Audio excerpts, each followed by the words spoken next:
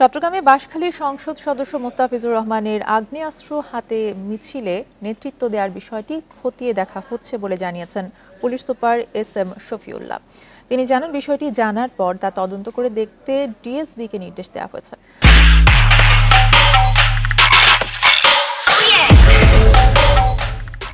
তার অস্ত্র বৈধ কি অবৈধ, কেন অস্ত্র প্রদর্শন করে মিছিল করেছেন, এসব বিষয় খতিয়ে দেখার পর কি আইনানুগ ব্যবস্থা নেওয়া হবে তা বলা যাবে। সোমবার বিকেলে বাজখালীতে বিক্ষোভ মিছিলে অস্ত্র হাতে নেতৃত্ব দেন মোস্তাফিজুর রহমান। সেই ভিডিও সামাজিক যোগাযোগ মাধ্যমে ছড়িয়ে পড়লে শুরু হয় আলোচনা সমালোচনা। তবে এ বিষয়ে কোনো মন্তব্য করেননি তিনি। মিছিলে থাকা বাঁশখালীর চাম্বল ইউনিয়নের চেয়ারম্যান মুজিবুল হক জানিয়েছেন, ওই মিছিলে নেতৃত্ব দেওয়ার এক পর্যায়ে সংসদ সদস্য তার লাইসেন্স করা অস্ত্রটি নিরাপত্তাজনিত কারণে প্রদর্শন করেন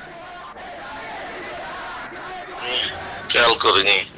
পার্সোনাল অস্ত্র দুইটা আছে। না, আমি হ্যাঁ আমার নলেজে আসতো যে যে বিষয়টা আমি একটা ইনকোয়ারি করতে পাঠাইছি। একটা বিস্তারিত প্রতিবেদন আসার পরে আপনাদের জানাব। আমি আমি বিষয়টা এখন ক্লিয়ার কনসেপ্ট আমার কাছে আসেনি। ইনকোয়ারি রিপোর্ট আসার পর জানাব।